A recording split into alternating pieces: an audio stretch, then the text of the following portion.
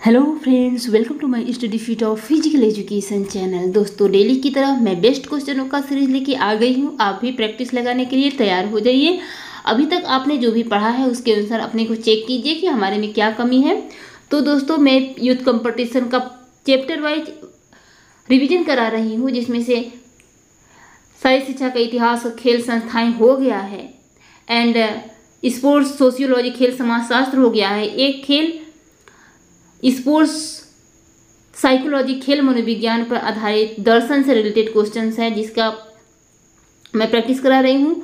तो दोस्तों, जैसे कि आप किसी भी कंपटीशन एग्ज़ाम फ़िज़िकल एजुकेशन का प्रिपरेशन कर रहे हैं तो मेरे चैनल पे सभी प्रकार के वीडियो है थ्योरी है एमसीक्यू पे क्वेश्चन है प्रीवियस ईयर क्वेश्चन है प्रैक्टिस है रिविजन क्लासेस हैं एंड वन लाइनर क्वेश्चन हैं। चाहे आप यूपी टी का प्रिपरेशन कर रहे हो, चाहे यूपीएल टी ग्रेड का, चाहे एमपी वर्ग टू थ्री का, खेल शिक्षक का, चाहे एमपी या स्टेट का, जैसा कि एमपी या स्टेट का एग्ज़ाम नौ सितंबर को है तो जो भी मैं, मुझसे हो सकेगा, मैं नौ सितंबर के पहले तक पूरा करने की कोशिश करूँगी बट आ, आप मेरे चैनल पे जाकर के सभी chapter wise MCQ previous year MCQ पूरा दिया गया है इंतज़ार करने की ज़रूरत नहीं है कि मैं कराऊँ ही, पहले से मैंने करा दिया है चैनल की प्लेलिस्ट में जाइए और चेकआउट कीजिए। प्रीवियस ईयर एमसीक्यू पूरा दिया गया है। एंड चैप्टर वाइज एमसीक्यू का प्रैक्टिस भी कराया गया है। एंड हंड्रेड से ज़्यादा वीडियो ऐसे हैं जो टॉप क्वेश्चनों का प्रैक्टिस कराया गया है। तो आप उसको प्रैक्टिस कर सकते हैं। समय नष्ट न करते हुए चलते हैं आज के क्वेश्चन की तरफ़। क्वेश्चन है दोस्तों, प्रकृतिवाद आधारित है। प्रकृतिवाद प्रकृति पर आधारित है। प्रकृतिवाद के प्रवर्तक हैं रूसो। यानी प्रकृतिवादियों के अनुसार प्रत्येक वस्तु प्रकृति से उत्पन्न होती है। प्रत्येक वस्तु किससे उत्पन्न होती है? प्रकृति से, और उसी में विलीन हो जाता है। प्रकृतिवादी के अनुसार संसार का आधार पदार्थ है, इसलिए इसे भौतिकवाद भी कहा जाता है। नेक्स्ट दोस्तों, विलियम जेम्स मनोविज्ञान को मानते हैं। तो विलियम जेम्स जो है, मनोविज्ञान को मानसिक प्रक्रिया और व्यवहार का विज्ञान मानते हैं। ये यथार्थवादी थे, जैसे कि यथार्थवाद के जनक हैं, अरस्तु, और उसमें जेम्स भी हैं। अक्सर कहा जाता है कि मनोविज्ञान की उत्पत्ति यूनानी दार्शनिकों की है। सही बात है, मनोविज्ञान यूनानी यानी ग्रीक भाषा के दो शब्दों, साइको एंड लोगस से बनकर बना है। तो साइकी का अर्थ है आत्मा और लोगस का अर्थ है अध्ययन, यानी साइकोलॉजी का शाब्दिक अर्थ हुआ आत्मा का अध्ययन। जबकि वर्तमान में इसे मनोविज्ञान मानसिक प्रक्रिया और व्यवहार का विज्ञान है। याद रखिएगा। एंड नेक्स्ट क्वेश्चन है आपको मिलान करना है यहाँ पे? तो आपने मेरे वीडियो में पढ़ते पढ़ते पूरा प्रैक्टिस हो गया होगा। तो आदर्शवाद के जनक कौन है दोस्तों? प्लेटो है, ठीक है? तो ए का हो जाएगा फाइव एंड यथार्थवाद रियलिज्म के जनक कौन है? तो अरस्तु. बी का हो जाएगा फोर यथार्थवाद के कौन है? दोस्तों, यथार्थवाद में अरस्तु और विलियम जेम्स दोनों आ जाएँगे। इसलिए यहाँ पे पाँच ऑप्शन दिया है। आप कोई भी चूज़ कर सकते हैं। थ्री या फोर में। तो यहाँ पे आपका आदर्शवाद प्लेटो हो जाएगा। ठीक? एंड यथार्थवाद जो है आपका अरस्तु। और प्रकृतिवाद के प्रवर्तक हैं रूसो। एंड वास्तविकतावाद यानी प्राग्मेटिज्म व्यवहारवाद जिसे कहते हैं, उसके प्रवर्तक हैं। जॉन टीवी, जो अनुभव को ही सफलता की कुंजी मानते हैं। तो यहाँ पे कौन सा ऑप्शन राइट हो जाएगा? Option number B, C is the correct answer और यहाँ पे भी आपको दिया गया है, देख सकते हैं। बट नेक्स्ट क्वेश्चन है। आपको यहाँ पे मिलान करना है नेक्स्ट क्वेश्चन में तो देखिए। तो यहाँ पे क्या है? कि स्वेच्छा से प्रारंभ की गई क्रिया। कोई भी चीज़ अब हम अपनी इच्छा से करते हैं, उसे हम क्या करते हैं? मनोरंजन। ठीक है तो एक का फोर हो जाएगा। एंड uh, एक का फोर हो जाएगा। एंड जॉन डीवी के नाम पर प्रचलित प्रयोगवाद है। तो क्या है वास्तविकतावाद? क्या है वास्तविकतावाद? प्रयोगवाद तो टू का वन हो जाएगा ए का फोर टू का वन एंड वह दृष्टिकोण जो प्रकृति को सभी क्रियाओं का संचालक मानता है। वह कौन है? जो प्रकृति को सभी क्रियाओं का संचालक मानता है, वो है यथार्थवाद ठीक है तो थ्री का थ्री हो जाएगा। ठीक है ए का फोर टू का वन थ्री का थ्री ठीक है? एंड जैविक की प्रक्रिया जिस, जैविक की प्रक्रिया से शरीर में होने वाली संरचनात्मक जो वृद्धि होती है, उसे हम क्या कहते हैं दोस्तों? उसे कहते हैं विकास। इसलिए यहाँ पे option number three C correct होगा। ऑप्शन नंबर थ्री यहाँ पे करेक्ट होगा। एंड नेक्स्ट क्वेश्चन है। यहाँ पे भी आपको मिलान करना है। जैसे कि आप देख सकते हैं यहाँ पे आदर्शवाद के जनक कौन है दोस्तों? प्लेटो है। ए का आपका हो जाएगा टू एंड यथार्थवाद के जनक कौन है? अरस्तु। सी का वन हो जाएगा। एंड प्रकृतिवाद के जनक कौन है? रूसो तो डी का थ्री हो जाएगा। एंड तथ्यात्मकता के जनक हैं राधा कृष्णन ठीक है? इस प्रकार आपका ऑप्शन नंबर सी करेक्ट हो जाएगा। एंड नेक्स्ट है। तथ्यात्मकता के जनक दोस्तों यहाँ पे हैं प्लेटो। तथ्यात्मकता के जनक प्लेटो हैं बट यहाँ पे राधा कृष्णन दे दिया है बट प्लेटो होंगे। क्या होंगे? तथ्यात्मकता के जनक कौन है वास्तविकतावाद के? जॉन डीवी हैं। कौन है? John Dewey.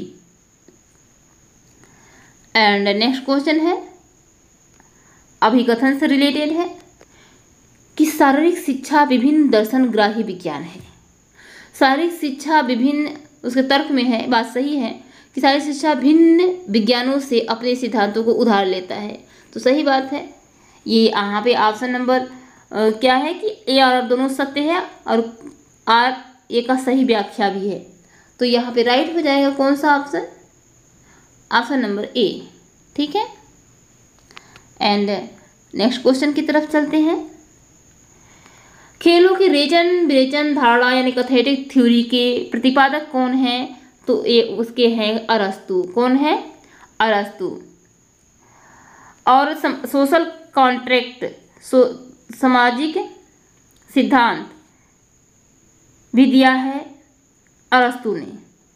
एंड मनोविश्लेषण सिद्धांत दिया है सिगमन फ्रायड ने। पूर्वाभ्यास, पूर्वानुमान या रिकैपिचुलेटरी थ्योरी कार्ल ग्रूस ने। अतिरिक्त ऊर्जा का सरपस एनर्जी थ्योरी दिया है हर्बर्ट स्पेंसर और सीलर ने। एंड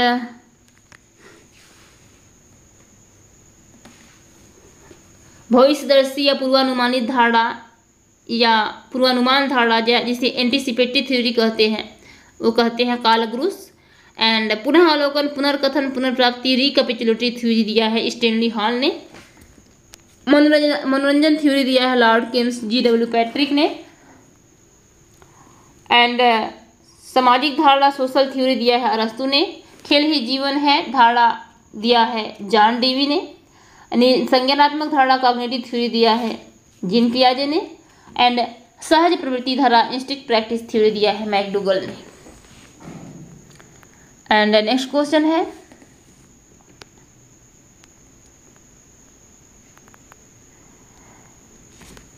यहाँ पे आपको मिलान करना है।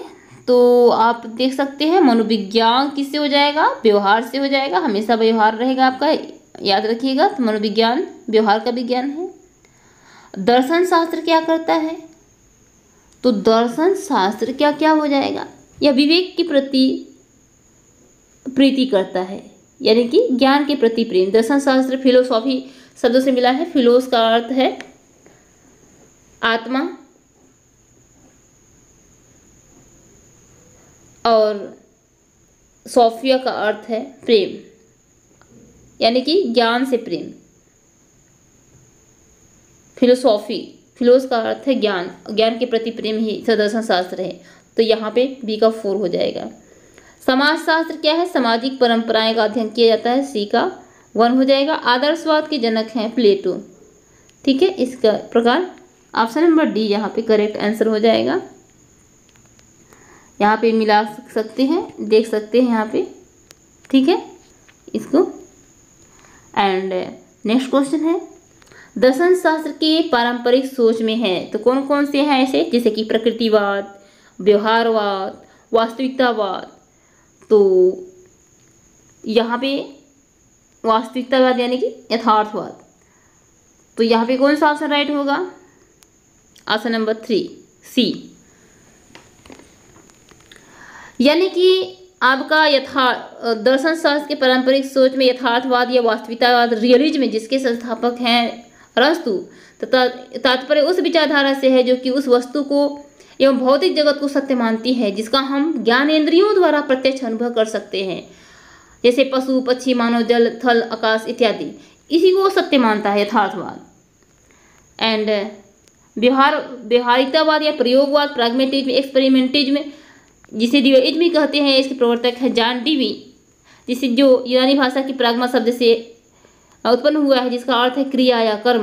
व्यवहारिकता, वाद, एक नवीनतम दार्शनिक विचारधारा है, जो अनुभव को सफलता की कुंजी मानता है। याद रखिएगा, अब प्रकृतिवाद के संस्थापक है रूसो, जो पाश्चात्य दार्शनिक चिंतन की वह विचारधारा है, जो प्रकृति को मूलभूत मानती है।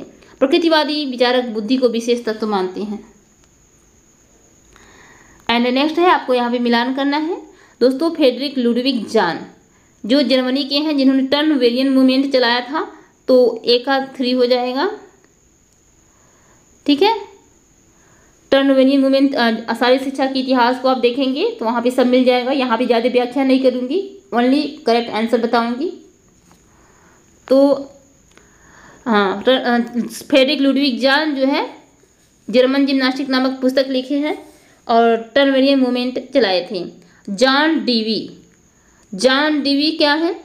यह व्यवहारवाद यानी कि जॉन डीवी व्यवहारवाद यानी कि प्रयोगवाद के जनक हैं तो टू का फोर हो जाएगा।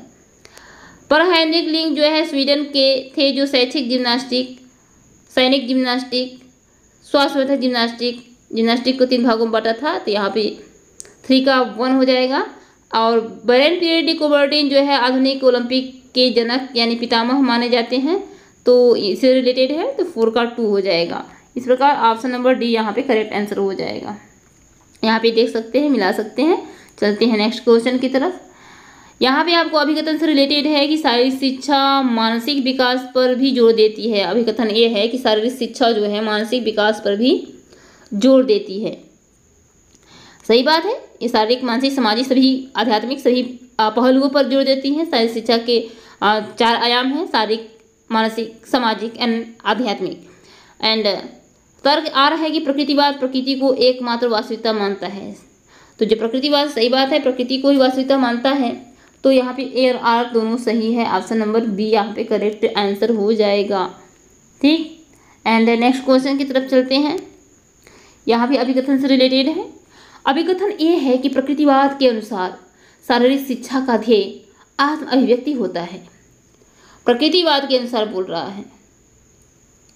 तो प्रकृतिवाद के अनुसार शारीरिक शिक्षा का ध्येय यानी लक्ष्य होता है आत्म अभिव्यक्ति होता, करना। इसका तर्क आ रहा है कि प्रकृतिवाद प्रकृति के अतिरिक्त अन्य किसी पर विश्वास नहीं करता। तो दोस्तों, यहाँ पे सही है, प्रकृतिवाद प्रकृति पर ही विश्वास करता है तो ऑप्शन नंबर ए यहाँ पे करेक्ट होगा। ए और आर दोनों सही है और आर ए का सही व्याख्या है। एंड क्वेश्चन नेक्स्ट है यहाँ पे आपको मिलान करना है। तो सोशल कॉन्ट्रैक्ट थ्योरी ऑफ़ ले। जैसे कि कैथेटिक थ्योरी दिया है अरस्तु ने। कैथेटिक थ्योरी किसने दिया है? अरस्तु, यानी कि एरिस्टोटल हो जाएगा। टू का three. And instinct theory of play instinct practice theory दिया है। इंस्टीटम प्रैक्टिस थ्योरी यहाँ पे दोस्तों ये क्वेश्चन थोड़ा गलत पूछा है, इसलिए इसको आप देख लीजिएगा। ठीक है, यहाँ पे क्वेश्चन गलत पूछा है। और नेक्स्ट है पराभौतिक। पराभौतिक जो सत्य है उसे कहते हैं पराभौतिक। तो ए का ए हो जाएगा। ज्ञान शास्त्र जिसे एपिस्थेमोलॉजी कहते हैं, जो सत्य को खोज करता है तो बी का टू हो जाएगा। तो ए का वन, बी का टू। एंड मूल्य मीमांसा,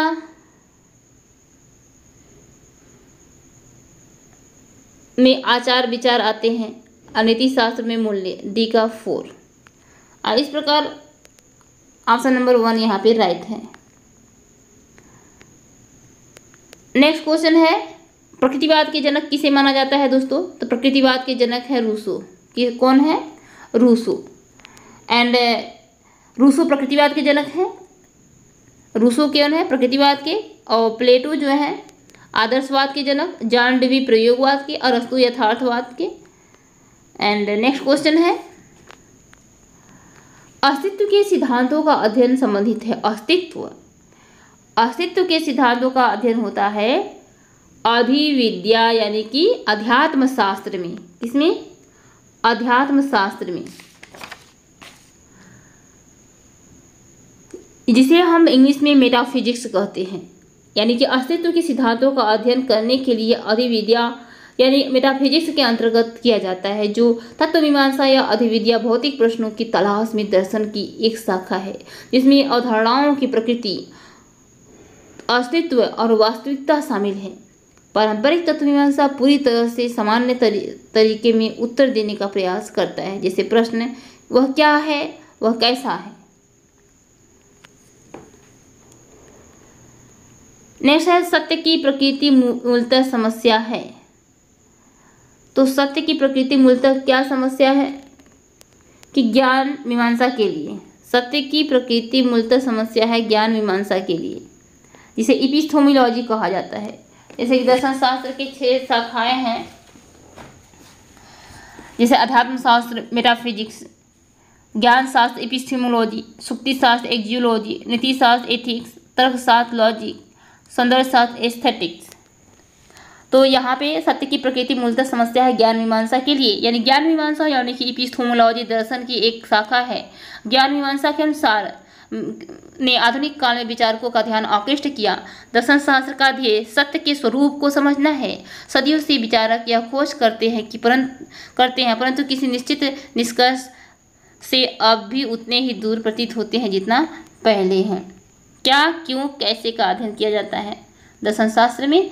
नेक्स्ट है मूल्य निम्नलिखित में से किस पर आधारित होते हैं? तो मूल्य जो है, किस पर आधारित होते हैं? तो यह दार्शनिक पहलू है, ठीक है? मूल्य जो है, एक दार्शनिक पहलू है। यानी कि दार्शनिक पहलू मूल्य का माप सिद्धांत वैज्ञानिक हो जाता है, तार्किक भी हो जाता है, सुखवादी दार्शनिक मूल्य की माप सुख अनुभूति से करते हैं। एंड नेक्स्ट क्वेश्चन है आपको, यहाँ पे देखना है कि नीचे दिए गए विकल्पों में मूल्यों के वर्गीकरण के दो तरीकों को चिन्हित कीजिए। तो मूल्य जो है आपका अच्छा और बुरा हो सकता है, अमूर्त और भौतिकवाद हो सकता है तो टू और थ्री आपका राइट होगा। Option number three C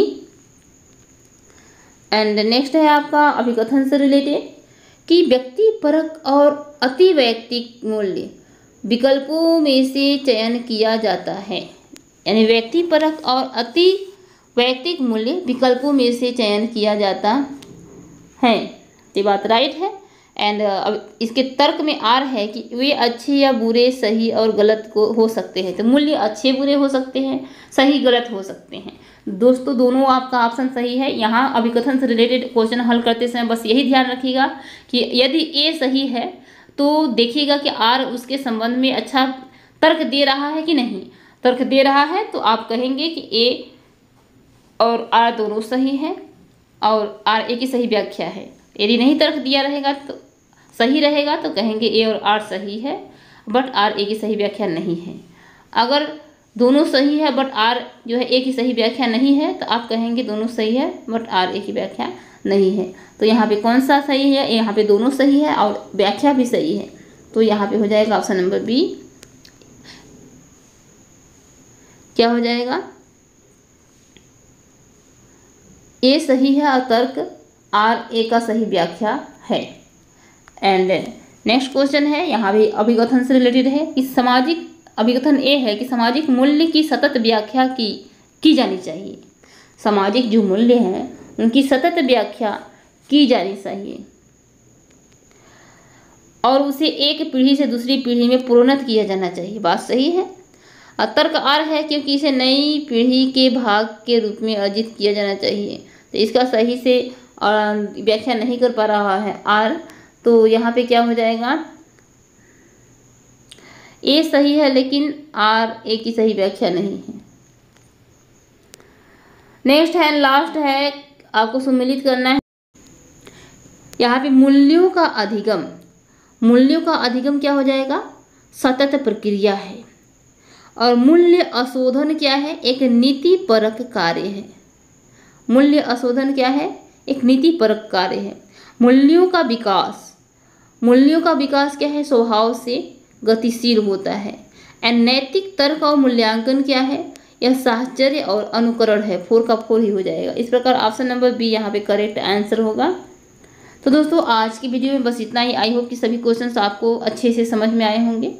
इसी प्रकार आप डेली बेसिस मेरे चैनल पर प्रैक्टिस करते रहिए। और जो भी क्वेश्चन में डाउट होगा कमेंट में कहिए। और सब लोग मिलकर सॉल्व किया जाएगा।